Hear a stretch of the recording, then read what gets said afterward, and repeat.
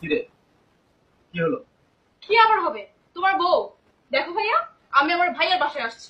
আর এখানে আমার অধিকারটা সব থেকে বেশি। কি বললে? ভাইয়ের বাসা? রিনি এটা যে আমার স্বামীর বাসা আমার সংসার এখানে তো সব থেকে অধিকার আমার বেশি। নাকি? এক মিনিট এক মিনিট। তুমি কি যেন বলেছিলাম এটা তোমার স্বামীর বাসা। এখানে তোমার অধিকার সবচেয়ে বেশি তাই না? হ্যাঁ একদম। যা সত্য তাই বলেছি।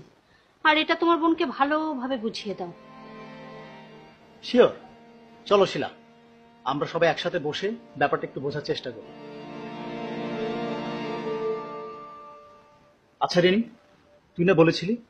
তোর ননদ বেড়াতে আসলে তোর অনেক ঝামেলা বেড়ে যায় তাই না? আজ সব কথা সবার সামনেই হোক। কি বলো শিলা? তা তো কিছুটা হয়। একবার আসলে সপ্তাহখানেক থেকে যায়। আচ্ছা রিনি তোর ছোটবেলা মামার বাড়ি যাবার কথা মনে পড়ে? আমরা সবাই মামার বাড়ি যাবার সময় কি খুশিই না হতাম। মামি পিঠা বানাতো মামা বাজারে যেত বড় মাছ আনতো মুরগি আনতো। আমরা সবাই মিলে কি মজাটাই না করতাম। মনে পড়ে তোর? হ্যাঁ খুব মনে পড়ে। তাহলে তোর ননদেরও যে দুটো বাচ্চা আছে তাদের তো মামা মামির ভালোবাসা পেতে ইচ্ছে করে। তুই যে তাদেরকে ঝামেলা মনে করে চলে এলি এই বাচ্চা দুটোর কথা একবারও ভেবে দেখেছিস? উল্টো বলছিস ভাইয়ের বাসাতে বোনের অধিকার সবচেয়ে বেশি। তোর ননদও তো ভাইয়ের বাসাতেই বেড়াতে এসেছে তাই না? না ইয়ে মানে ভাইয়া যাক তোমার কথা সে যদি একটু বোঝে।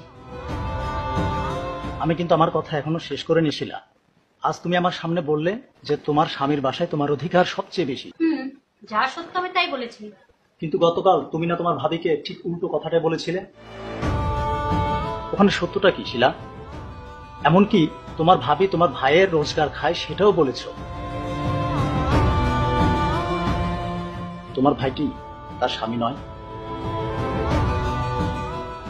আসলে আমি ব্যাপারটা সত্যি বলতে কি সত্যিটা তোমরা নিজেরাও জানো না। তোমরা মনের অজান্তে একটা আইন তৈরি করে নিজেদের বেলাতেই সে আইনটা খাটাও।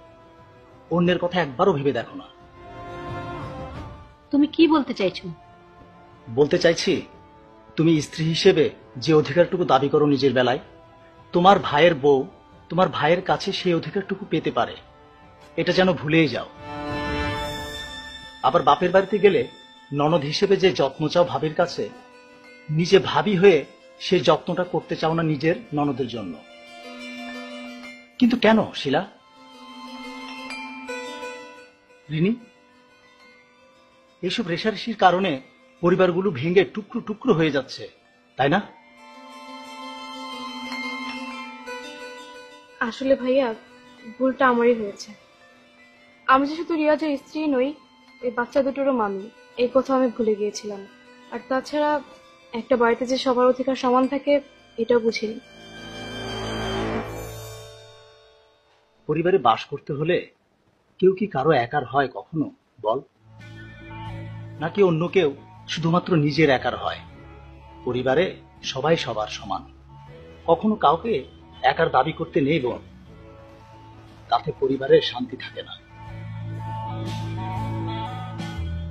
ভাইয়া, আমি আজকে চলে যেতে চাই। আমি আমার দায়িত্ব ফেলে রেখে এসেছি। আজই তো এলি। কাল বাসায় চলে যাস। শিলা, রিনি তো ওর ভুলটা বুঝতে পেরেছে। তুমি কি তোমার ভুলটা বুঝতে পেরেছ? গতকাল তুমি তোমার ভাবির সঙ্গে ঝগড়া করে চলে এসেছ। সরি বলবে না তাদের।